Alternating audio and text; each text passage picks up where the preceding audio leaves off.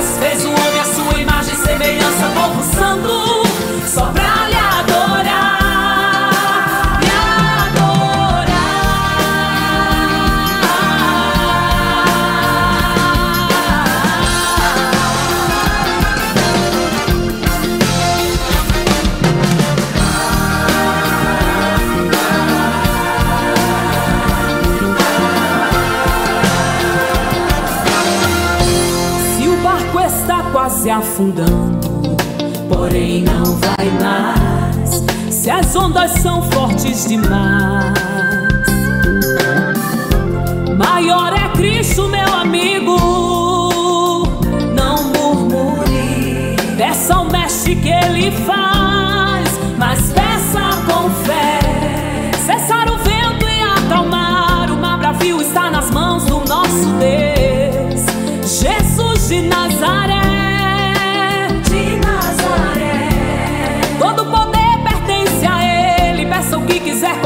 você vai receber.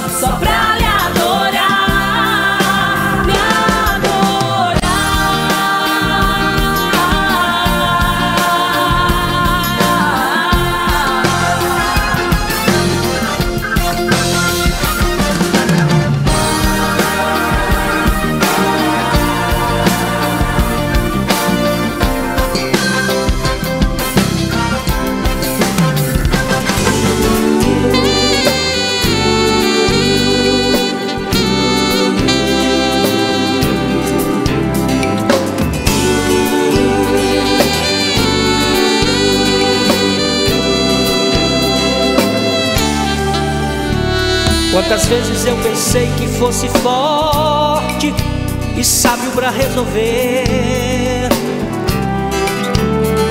meus problemas que sufocam minha alma e me faz tanto sofrer. Tudo que eu planejei deu tudo errado. Quantos erros, tantos planos fracassar que me resta é dobrar os meus joelhos e chorar os pés de Deus. Quando reconheço que eu não sou nada, mas que tudo Ele é. Sinto que o Santo Espírito de Deus vem e aumenta a minha fé. Se eu tenho esperança. Quem espera no Senhor sempre alcança. Porque quando o crente se humilha e chora, Deus ordena a vitória. Deixa rolar. Mais uma lágrima no olhar, e tu verás o teu pranto cessar quando a alegria for chegando de repente, você vai ver que só Jesus é que tem o poder para fazer que é fraco vencer.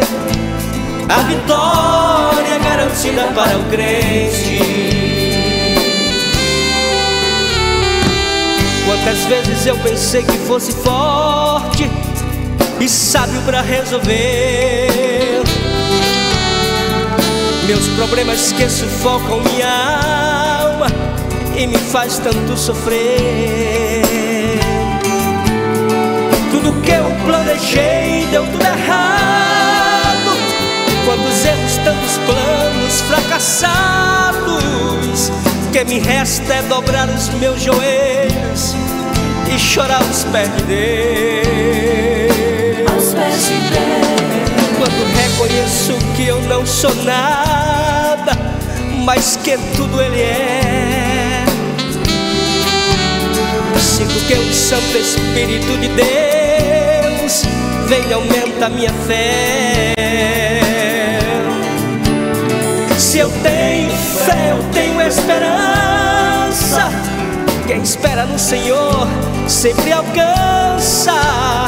Porque quando o crente se humilha e chora, Deus ordena a vitória.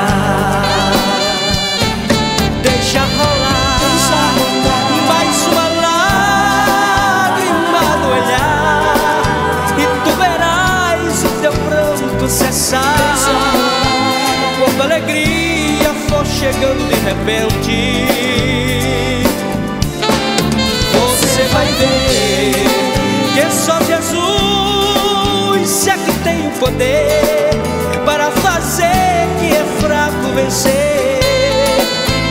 A vitória é garantida para o crente.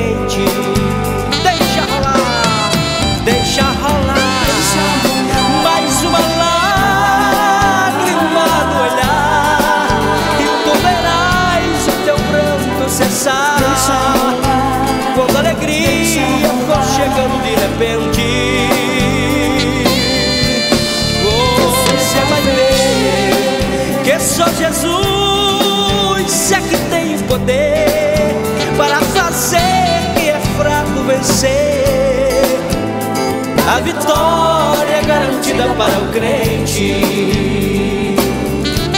Você vai ver que é só Jesus é que tem o poder para fazer que é fraco vencer. A vitória é garantida para o crente.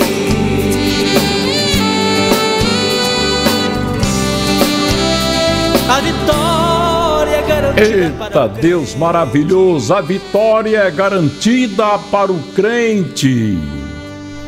Boa noite, amados do Senhor, boa noite, a paz do Senhor Jesus. Estamos na oração da noite para trazer uma mensagem para o seu coração, uma mensagem de Deus, é, uma mensagem de Deus para a sua vida. Como nós amamos a, a mensagem que vem do Senhor, né? E nessa mensagem nós vamos falar de escolhidos. As pessoas às vezes dizem: como é que pode? Deus escolheu essa pessoa. Deus tem abençoado tanto essa pessoa, como é que pode? As pessoas olham para o seu defeito, mas não vê com os olhos que Deus vê. Assim foi Samuel na casa de Jessé. Quando ele olhou para Eliabe, viu a beleza física, a estatura, e Deus diz: Não, esse aí eu já rejeitei. já rejeitei. Tamanho para mim não é documento, disse o Senhor. Samuel, tu olha a aparência e a estatura, mas eu olho o coração. Deus olha o coração. Estatura não quer dizer nada. Beleza exterior não quer dizer nada. A mesma coisa aconteceu com Paulo, que era Saulo na época, quando ele mandou Ananias ir atrás dele: Senhor, esse homem não merece. Esse homem não merece a tua cura. Esse homem não merece a tua atenção. E ele disse: Vai, porque ele é para mim um vaso escolhido. Meu Deus, que mensagem! Essa mensagem é do Senhor para o seu coração. Muitas pessoas não vão entender nada na sua vida porque não compreende, não aceita, eles não aceitam, não adianta, não aceita. Não aceita o que Deus está fazendo na sua vida, não aceita, mesmo sabendo que é Deus, mas não aceita. Isso não importa. O importante é que Deus quer fazer. E aí eu quero perguntar a você, por que será que Deus escolheu Davi? Davi era apenas um, um pastorzinho de ovelhas, né? Era um improvável, mas o Senhor o escolheu. Deus escolheu Davi porque ele olha para o coração e não para a aparência física. Davi ele foi o mais formoso rei de Israel, mais famoso, mais mais amado, o rei mais consagrado de Israel. Isso está descrito em 1 Samuel, né? Como homem segundo o coração de Deus, 1 Samuel 13, 14. Escolhi um homem segundo o meu coração. É interessante notar que quando Samuel foi até a casa de Jessé para identificar quem era o escolhido de Deus, como o próximo rei de Israel, Samuel pensava que era um homem bonito, belo, opa, famoso. E ao ver Eliabe, até o velho profeta se enganou. O profeta estava olhando para a aparência de Eliabe. Eliabe era o mais bonito dos filhos de Jessé. O mais posudo era, era o primogênito, né? Era alto, bonito. Mas não era o homem segundo o coração de Deus. Davi tinha algumas qualidades e características que fizeram com que fosse escolhido por Deus para liderar o povo de Israel. Primeiro, Davi demonstrava respeito pela autoridade estabelecida por Deus. Pois mesmo quando teve a oportunidade de matar Saul, que era o seu inimigo, ele não fez isso. Davi era humilde. Mesmo sendo filho de Jessé, ele aceitou ser pastor de ovelhas e limpador do lixo da casa do seu pai. Pastor, onde é que está isso na Bíblia? Ele disse: Deus me tirou de trás das malhadas, me tirou de trás do monturo. Aleluia. Eita Jesus. Davi, ele sabe que Deus tinha o melhor para ele que Deus conhecia a sua história. Davi foi um homem, um homem preparado, foi um homem que, antes de ser rei, ele era o filho mais novo de Jessé, em Belém de Judá. Ele era um jovem ruivo, tocador de harpa, era bastante jovem quando cuidava das ovelhas de seu pai. Quando Deus rejeitou Saul como rei, ele enviou o profeta Samuel para ungir alguém, tinha que ser alguém humilde. Deus não gosta de orgulhoso, Deus não gosta de presunçoso, Deus não gosta de soberbo, Deus não gosta de mentiroso, Deus não gosta de preguiçoso. Eita Jesus. Davi, ele foi escolhido rei por causa da sua qualidade de responsabilidade com as coisas que lhe davam, né? O rei Davi ele foi um homem muito amado pela nação de Israel, e não somente pelos cristãos, ele é amado pelos ortodoxos da lei judaica, né, pelos observadores da lei, os fariseus o amavam, os saduceus, os escribas, todos amavam Davi. Até hoje, na história de Israel, o túmulo mais visitado depois do Santo Sepulcro é o de Davi. Os muçulmanos amam Davi.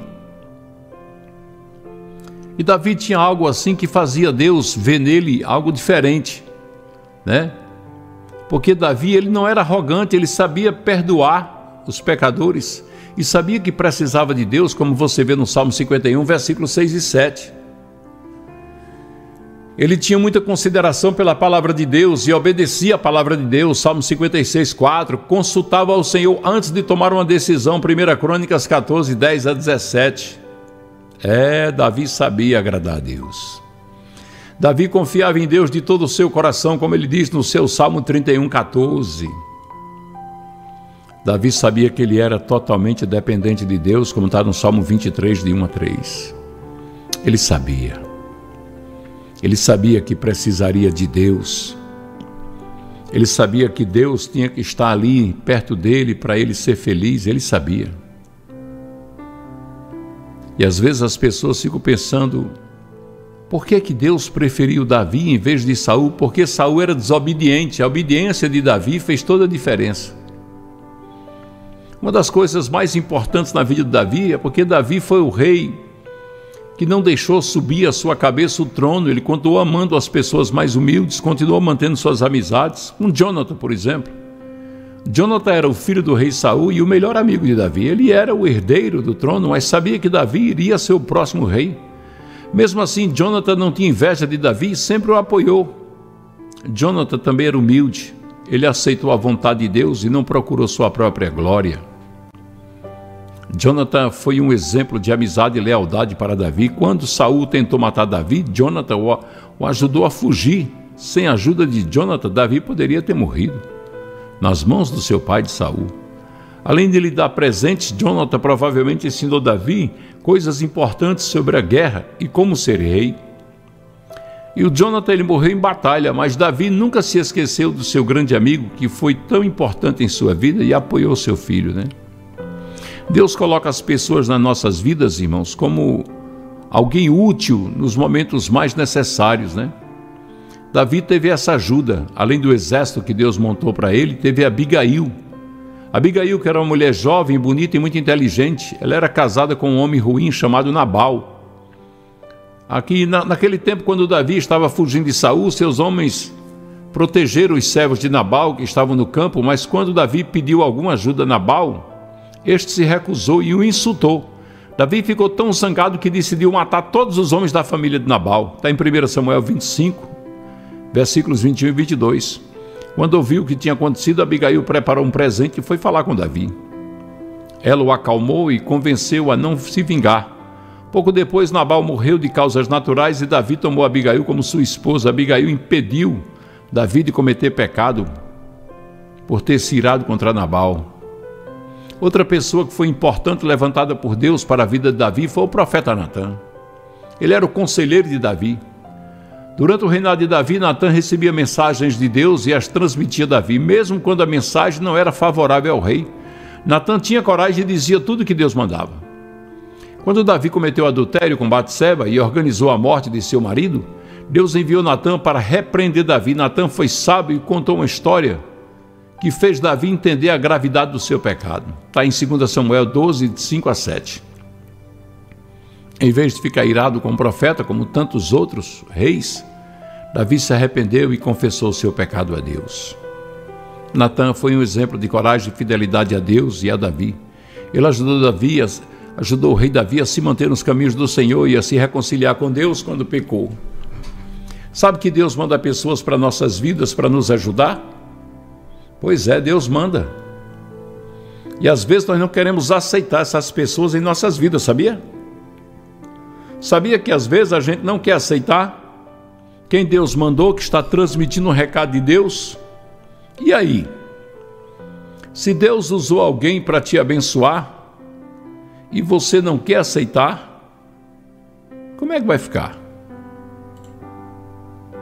Davi, ele ele amou o filho de Jonathan, Mefibosete, né? O melhor amigo de Davi era Jonathan. Depois que Jonathan morreu, Davi tomou conta de Mefibosete por amor ao seu amigo. Isso era um gesto nobre, bonito de Davi. Mefibosete era filho de Jonathan, neto de Saul, do perseguidor de Davi, o primeiro rei de Israel. Era Saul. Saul se desviou de Deus, por isso Deus escolheu Davi para ser o próximo rei. Jonathan, o pai de Mefibosete, era o filho mais velho de Saul e se tornou amigo de Davi e o apoiava. Mesmo sabendo que Davi iria ser o próximo rei e não ele, Jonathan defendeu Davi e protegeu Davi. Por isso Davi protegeu Mefibosete. Nós sabemos que o nome Mefibosete não há assim uma, uma explicação sobre a origem. Alguns dizem que significa algo vergonhoso, que causa vergonha.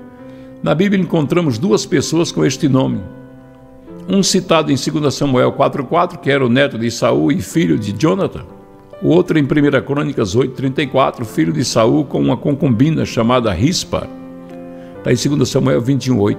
Podemos, no entanto, verificar que na Septuaginta, a versão em grego do Antigo Testamento, ao nome de Merib Baal, o Mefibaal, tirando a pessoa da passagem bíblica de 2 Samuel 28, por causa dessas divergências, o nome de Mefibosete pode ser tradução como aquele que luta com Baal, heróis de Baal. Nós estamos analisando a vida de um homem que tinha tudo para morrer da infelicidade, mas tinha Davi, que era grato. A gratidão é a coisa que Deus mais ama. Quando nós somos gratos, nós somos amados por Deus. Deus ama os seus filhos que são gratos. Porque quem é grato agradece a Deus por tudo que Deus está realizando. Quem é grato sabe que Deus é o autor da vida, é aquele que protege, Deus é aquele que guarda, é aquele que nos dá tudo. Quem é grato é assim. E quem é ingrato? Ah, quem é ingrato é ingrato. Quem é ingrato não é nada. Quem é grato recebe a bondade de Deus. A Bíblia nos fala que a bondade de Deus é uma das suas principais qualidades ou atributos, faz parte da essência de Deus ser bom e generoso. Essa bondade pode ser vista nas obras que ele fez e no amor que tem manifestado pela humanidade, ao criar, sustentar e oferecer Jesus Cristo para reconciliar-se conosco. Deus é tremendo, meus irmãos. Deus é tremendo. O Senhor é provedor de todas as coisas. Ele é cheio de graça, aleluia, e de misericórdia. Graça é quando ele dá favor a quem não merece. Misericórdia, ele aplica os ele não aplica os castigos que merecemos. Já pensou isso? Graça eu recebo o que não mereço. E misericórdia, eu não recebo o que mereço. Deus é bom pois Ele concede graça e misericórdia diariamente para com todos, Ele tem paciência. Sabendo que somos limitados, Ele nos ensina e revelou-se a nós através da história da palavra de Deus. Deus dá sustento, livramento e perdão a quem Ele pede, e especialmente em meio a todas as riquezas e bênçãos. A maior delas é a obra da redenção. Por meio de Jesus Cristo, a bondade de Deus foi manifestada na cruz do Calvário. Oh, glória! A bondade faz parte de um conjunto de princípios e Davi era amado de Deus porque era bondoso, tinha um coração manso, generoso. Aleluia. Palavra de Deus no Salmo 116, 12 diz: Como posso retribuir ao Senhor toda a sua bondade para comigo? Ninguém pode. Deus é muito maravilhoso. Aleluia. Glória ao seu nome santo. Deus é grande. Deus é grande, Deus é poderoso. Quantas vezes nós merecemos o castigo e Deus não nos dá? Sabe por quê? Porque Ele sabe que nós somos falhos, Ele compreende a nossa dor, Ele sabe da necessidade que nós temos do olhar misericordioso dEle. E agora nós vamos fazer uma oração. Vamos fazer uma oração por aqueles que estão clamando a Deus, pedindo as providências a Deus, estão clamando, dizendo: Deus, olha para mim com olhar de misericórdia, Senhor. Talvez seja essa a oração que você tenha que fazer em meio às lágrimas e à dor. A oração do pedido a Deus. Para olhar para nós com um olhar de bondade. Oh Deus, Santo, Santo, Santo é o Senhor. Os céus e a terra proclamam a tua glória. Bendito é o Senhor, que faz o bem a cada um de nós. Maravilhoso Pai, Santo e Eterno Deus, estamos aqui, Deus, na tua presença, meu Pai pedindo, Paizinho querido, Deus amado, pela tua misericórdia, clamando, Deus, pedindo que o Senhor olhe para nós com um olhar misericordioso. Pai, tu és grande, tu és santo, tu és maravilhoso. Em tuas mãos estão nossas vidas. E nós queremos fazer uma oração pedindo, Pai querido, pela tua provisão, pela tua providência na vida dos teus filhos e filhas. Manifesta o teu amor, Deus. Manifesta o teu poder, Deus, a tua bondade, a tua misericórdia. Enche-nos, Deus, da tua presença. Faz-nos, Senhor, ser cheios da tua presença. Livra-nos, Senhor, de todo perigo, de toda maldade, de toda enfermidade. Paizinho querido Deus amado, eu quero clamar e pedir pela tua recompensa, pelas vidas que têm nos ajudado, Deus. Deus, pelos dizimistas, pelos ofertantes da pão da vida, da casa do Pai, pelos teus filhinhos e filhinhas que sustentam, sustenta esta obra com amor no coração. Eles amam, Senhor, as obras sociais da igreja. Eles amam os moradores de rua. Eles amam as crianças pobres, carentes, que recebem o leitinho da fazenda do Pai. Eles amam os pobres coitados que andam na rua, perambulando, pedindo um pouquinho de pão para saciar a fome, um cobertor para se cobrir. Recompensa, Deus, o teu povo. Derrama, Deus. Não deixa faltar o alimento na mesa. Não deixa faltar, Senhor, a farinha na panela, nem o azeite na botija. Sustenta essas famílias que nos abençoa, Deus, com as tuas ricas bênçãos, com a tua gloriosa e maravilhosa paz que excede todo entendimento. Senhor, nós pedimos, Pai, em nome de Jesus Cristo, que o Senhor possa, Deus, encher teus filhos de paz, de alegria, que o Senhor possa encher os corações das criancinhas, Senhor, da tua alegria, da alegria verdadeira, que vem, Deus, do teu trono de glória. É Jesus, é a tua bondade que é infinita, é o teu olhar que é misericordioso. Por isso nós estamos aqui clamando e pedindo, Deus, pelas famílias, pedindo por aqueles que têm votos e propósitos com a casa do Pai, pedindo Deus por aqueles que pedem, Senhor, que o Senhor os ajude para eles poderem ajudar. Jesus, Pai Santo, Pai querido, Deus amado, derrama da tua glória, da tua bondade infinita sobre a vida do teu povo, Deus, as ricas bênçãos celestiais. Ampara as criancinhas que estão desamparadas, Senhor, fala ao coração dos seus pais do teu amor, do teu carinho, da tua bondade que é infinita. Não deixa faltar nada, Deus, nem o alimento, nem o material escolar, Senhor. Nem a escola para estudar, nem o lazer para brincar. Deus supre todas as necessidades. Conforta o coração da mãe que está sem condições está perturbada, preocupada. Mas tu és o Deus de toda a terra, meu Pai.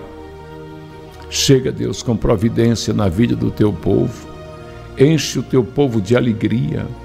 Olha, Senhor, para as criancinhas que buscam a tua face, que oram, que pedem o Senhor a proteção para os lares delas, Deus. As inocentes, Pai, que estão clamando e pedindo de dia e de noite: Senhor, abençoa minha casa, abençoa meu papai, abençoa minha mamãe, abençoa minha vovó, abençoa meu vovô meu titio, minha titia, Deus abençoa. Estende a tua mão santa e abençoa.